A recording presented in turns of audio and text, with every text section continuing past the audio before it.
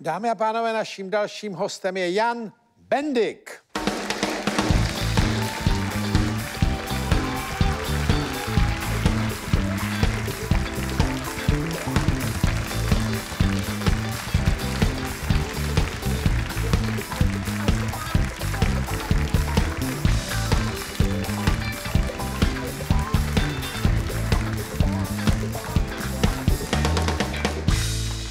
Jan Bendik, zpěvák, taky herec, že jo? Bendik, ne Bendik. To je, Bendik, jo. Tam není měkký znak. víte, co je nejhorší, že když já jsem žil v Anglii, tak si ze mě dělalo spousta lidí legraci, protože Bendik znamená křivý. Aha, jo. Hm. A jak to víte? Umím anglicky, ne? A Bendik znamená, se podívám, ne? Bend. No bend ik jako. No, ale tak, že jo, v, rychle, v rychlosti to řeknete prostě Bendik. Co vy jste se všechno v té Anglii nenaučil, člověče? Vy jste tam byl v kterých letech? Vy jste tam byli celá rodina, že jo? V Liverpoolu nebo Ano, kde? V Liverpoolu? správně, v Liverpoolu 2006 až 2009. No. A pak jste se zase vrátili všichni? Jo, Jo. Mhm, protože já jsem se, my jsme sem původně jeli na dovolenou a já jsem se přihlásil z ničeho nic do jedné soutěže. No vy jste dělal Superstar, nebo co ne? Jo. No. No a, a tak už jsme tady zůstali. Vy jste dopadl dobře v Superstar. No to bych tady asi s váma teďka neseděl, no. Podle mě. Co? no, jakože bych tady s váma neseděl, kdybych nedopadl dobře. No to jste dopadl dobře. Vás, mě strašně, mě strašně zaujalo to oblečení vaše. Jo? Já jsem to ještě neviděl. Můžete dát tu ruku, protože bych se chtěl podívat tady na ty... Jo, tadyhle To je neprůstřelná vesta, víte? Já vím, ale Teď takhle trošku- po lidech. trošku vypadáte říkal, že jako... po téhle show hnedka pojedu do Dubaje se schovat pak. Jo. No, je to zajímavý, to oblečení je zajímavé. Já se, nejdřív, to trošku vypadá jako letenka, ale je to vlastně... Uh, no ne, jsou tam ty nápisy. No, A co to tam je? Extrémní, aha. já ani nevím, já to mám počený, takže... Jo, diesel industry. To zajímavý. A to, to se na něco používá, nebo to je jenom vystylovaný takhle Tak to vyložený? se teďka nosí, no. Tohle takovýhle- se nosí, jak to jsem to nikdy neviděl, když se to nosí. Takový jako, já tomu říkám pokakávačky, jakože v pohodě. Jako ono A se- otočte se ještě, prosím vás. No ono je to něco mezi kurýrem a letenkou. Tebe to vypadá tohle to zezadu jako ruksáček, že to je na dopisy tady. No to je možný, no. No tohle to. No tam mám port? No ne, ale tady je kapsička, ne? No je, tady vepředu taky. Podívejte. No tady taky. Ale vy si potrpíte na oblečení, že? Já miluju oblečení, No, ale já, vidět. ale, ale já moc třeba nenakupuju, neutrácím. Já třeba rád chodím do sekáčů, do levňáku a takovýchhle věcí. Jo, a vyberete si tam něco. Mm, že tam najdete třeba kousek, který dřív stál, já nevím, tři tisíce a tam si vyberete, třeba já jsem si koupil nádhernou džisku, fakt opravdu kvalitní. Nádhernou co? Džisku, takovou jakože Džisku? bundu. Jo, A džízovou- tam byla 90, bundu, jako. No, 90 korun. No, neberte to. Ne, to já chápu, to chápu, tak to nejste sám, tam chodí plno lidí. Já vůbec nemám pochopení pro tu radost toho oblíkání, protože já se vlastně chráním jenom vy proti jste zimě. Fešák, vím právě, že jste takový elegant, to je bomba. No to dělá okolí, to na mě pracuje plno lidí, na mě Jo. pracují světové firmy, aby mě dali do latě, ale mě jde jenom o ochranu před klimatem, Jo. buď před vedrem nebo před zimou. Hmm. Ale jinak já to v sobě vůbec nemám. Já nenávidím třeba si kupovat oblečení kvůli těm kabinkám To ani podělaným. Já nesnáším nakupování právě taky, no. No a když říkáte, že si chodíte... Ale jo, tak jako jednou třeba za, ale to právě ty levňáky, tam nikdo není, tam jdete prostě, tam ta výborná paní, že jo, tam sedí na mobilu a vůbec si to nevšímá, že jo. Nevšímá, děláte si. Takže vy si tam prostě prohrobáváte ty, ty, že jo, ty koše a já nevím co. Prosím no, koše, a prostě ještě, ty, eh, teďko další věc, to jsem si všiml až teď. Eh, Tam dole, co máte, jak máte takový ty, tohle. tohle, no. To jsou mašličky, no, no Já ne mašličky, ale A to vypadá, že jdete z vystoupení rovnou. tak já si myslím, že, by- že bych měl nějak vypadat, reprezentovat se, když tu tak. Ne, to jo, ale mě to zaujalo. No tak já si umím představit, že by s tímhle za mnou někdo přišel, ať si to vezmu, abych řekl, prosím tě, já přece musím máš tričky. Tak taky to souvisí s ale co věkem. víte, třeba by vám to slušelo? Myslíte, že mě mašličky na nohách slušely? Tak až skončíme, já vám to počím, to je na každou velikost, to si můžete dát. To Jako... vidím, že to je. No a teďko, co teda, jako teď je to trošku takový pandemicky zbržděný, že jo? Uh, ale co teď teda si jako tak chystáte nebo plánujete? Tak uh, já pořád, Vy jste jezdil, že jo, a mm, zpíval hodně, ne? Mm-hmm. Než začala pandemie. No, hodně, hodně. Já jsem cestoval třeba i do Anglie, do Polska, do A vy zpíváte romský písničky, anglicky? Romsko-český a podle toho, Jo. jaký je tam publikum. Ale tady v Čechách a na Slovensku se většinou vyskytnou právě ty příležitosti, že, že se tam dole pod tím pódiem potkají ty dvě party prostě, jakože vůbec se tam neřeší, jestli je to bílej nebo žlutý nebo černý. jo, jo. A nejlepší na tom je, že ty vlastně gáďové zpívají moje moje vlastně romský pasáže a ty český pasáže zpívají romáci. Aha. Místo, aby oni zpívali, že...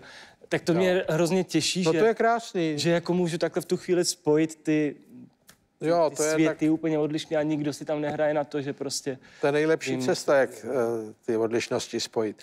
No ne, ale že jste jezdili pod, do zahraničí, Mhm. mm-hmm. tak eh, vy z té doby, kdy jste byl v uh, Londýně, tak tam, teda v uh, Liverpoolu, tak tam máte nějaký zázemí, kamarády, ne? Mhm, mám tam spoustu Vy známých. jste tam vyhrál taky nějakou soutěž. Taky, no. Academy Idol a to byla vlastně taková anglická soutěž, kde vlastně z každý různých škol, z různých měst prostě vybrali jednoho Aha. a soutěžilo se mezi těma školama. A já, asi 20 škol tam bylo z různých, jako z Manchesteru, z Londýna, já nevím, z Doncasteru a takovýhle to. Takže tam jsem to vyhrál. Vyhrál, no.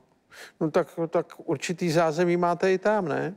Ale jo, a tak já si myslím, že ty lidi v tu dobu, když jsem tam zpěl, tak si mě už spousta... No tak jste byl malej, taky mladší, že jo? Takže tak. No a ještě, abych nezapomněl, tady pro vás něco mám, my tomu říkáme anti-covid drink. Anti-covid drink, jo? Aha. Mhm. To je výborná. Nějaký rozlučkový, jo? No, to je... ne, právě, že když je to výročí... Tak to jste hodnej, tak to děkuju moc krát. Známý domácí Aha, tak to jste hodnej. Bio Jo, jo, jo, ruškovici. to je a i tady mám pro pana odvárku, protože mu tady nikdo nic nenesl, on tady chudák sedí vždycky. No tak Můžu vám to donést? Ano, A pro vás taky takový výborný anti-covid drink, tak si dejte doma. vám chci podat i ruku. hlavně si nešlápněte na tu Prosím. mašli, jo? Nezdá se vám to nebezpečný, že si šlápnete na tu mašli? Už se mi to stalo teďka, No. tam vázal na uzle. Tak děkujeme moc krát, pane Odvárko, taky děkujete, že? On takhle rád přijímá dárky. Akor, tenhle ten druh, ale děkujeme moc. No a tak co teda chystáte? Máte nějaký koncept nějakého koncertu, až tady budete moc vystupovat? Máte kapelu svoji? Mám, mám, mám určitě, ale tak teďka je to k něčemu. Já jsem vlastně naposledy měl můj velký online koncert na Vánoce a to mě až tak jako nebylo. Bylo to super, Já vím, no to online, no to je. ale teď se spíš věnuju tomu YouTube, protože točíme vlastně seriály taky. A Takhle to dneska je. tak si Veronika může udělat seriál s holkama z rádia. No, takže točíme vlastně naše seriály a pak vlastně vydávám pořád eh, nějaký songy, takže furt Písničky. písničky, takže trávím hodně času ve studiu. Tady nám dneska taky zaspíváte potom. Na Ano, ano, ano. Ale na druhou stranu, tak těma písničkama, když děláte YouTube a to, tak si to publikum trošku tak musíte udržovat, ne? Jo, mě to strašně baví právě, a ty seriály a všechno. A ten seriál, co to je? To, Prosím vás, tam těch seriálů je trošku víc, jmenuje se vy toho jeden máte seriál- rozdělaný víc, No jo. jasný, a dokonce náš vlastně portál nebo ten YouTube kanál se jmenuje Romflix. Romflix. Hm? To je dobrý. A vlastně první seriál je ale. Roma Place a tam je vlastně v tom seriálu se dějou různý, eh, to je něco jako Merlow's Place, pokud jestli si pamatujete. Aha, jo. Tam jsou zvraty, vraždy prostě, láska. No, to je krásný. No a pak, pak, pak vlastně je dal. Tam hrajou vlastně v tom Roma Place normálně kluka. Pak je další seriál, to jsou ďábelské cikánky. Ďábelské cikánky. Ano. By bylo něco pro Veroniku možná, ne? Mohla bych, mohla bych. kdyby to byla dělo Romka, ale pozor. Vidíš? A počkejte, a o čem jsou ďábelské cikánky? tak to jsou vlastně tři romské sestry z bohaté rodiny. Aha. A, a, Zní to dobře, ten začátek. Jo, jo, pozor, ale to se ještě rozjede. A oni, To oni, není to vlastně, science fiction? oni zdědějí po svým zesnulým otci spoustu peněz. Jenže aby se dostali k těm penězům, tak oni musí jeden rok žít v jednom bytě. Aha. A oni se nenávidějí, takže oni proto tam, a tam zase začnou, že jo, intriky, vraždy, hodně vražd. Hodně vrát. Jo. A ty vraždy jsou potřeba, protože jinak neudržíte Jo, ty lidi, ale tady to jo. je tak jako komediálně pojatý. To už není tak vážný jako Roma Place. A Roma Play je jako vážnější. Jo, a tam právě hraju, eh, hrajeme vlastně s mým bratrem a s mým kamarádem uh, Josefem Schubertem vlastně ty tři sestry. Já jsem Olivie, brácha je Alexis a Pepa je, že jo, Mercedes. Aha. No, A to je to dobrý, jsou- ale vypadá to, na, se na to ještě dneska podívám. Asi. Podívej, a ono to má úspěch, my jsme nečekali, že my když jsme vlastně seděli v té jedné čínské restauraci, když jsme najednou prostě přišli na tenhle ten bláznivý nápad, tak jsme řekli, "He, pojďme udělat seriál, budou tam prostě vraždy, bude tam tady to, tamto a budeme za holky, tak jo, já budu Olivia, ty budeš Alexis, ty budeš Mercedes, bomba, no. jdeme na to. Do týdne byl hotový scénář, který napsal vlastně můj manažer Lukáš Rimon a a točilo se, zkusili jsme teda první tři díly a najednou to mělo úspěch. A představte si, že první díl má milion shlédnutí a furt to takhle jako se drží na těchto těch číslech. A vy jste říkal, A- že máte tři seriály. No a ještě ten třetí, k tomu jsem se nedostal. No tak to. No a, Já se na to už jednu jako žhavej teďko. a třetí, Jsem nažhavený na váš kanál. a tam je víc těch videí, nejenom No seriál. to já si dám, ale nalákejte mě, tak tenhle ten... A ten třetí je Iveta a Marcela. A to jsou vlastně, to jsou takový dvě temperamentní romky, hodně temperamentní. A to taky hraju, tu Ivetu. A můj brácha No takhle, hraje vy hrajete Marcelu. všechny romky, co tam jsou. Jo, Plus tam máte další romky, co hrajou s váma teda. no. Hrajete hodně holek teda v těch dvou.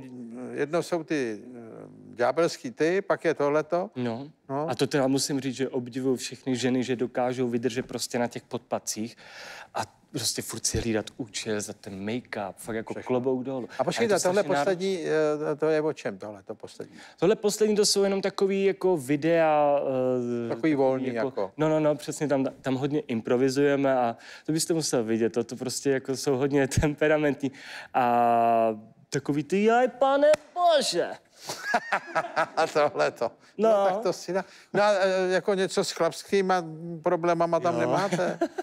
Taky určitě děláme vlastně s bráchou různý challenge, to už jde víc do toho, do toho YouTube, že tam děláme různý challenge a tam už jsem sám za sebe teda. A i Jo. v tom Roma Place, tam jsem taky vlastně za kluka. No a co tomu říká takhle vaše okolí, přátelé, rodina a tak?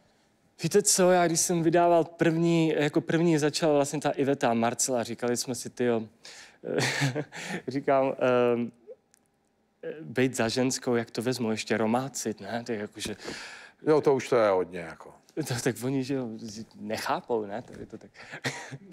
tak jako první, jakoby jejich reakce byly OK, ale pak, pak začaly jako různě jako mít nějaký keci, ale pak na tom byli tak závislí, že koukali všechny díly. Jan Ben Dík.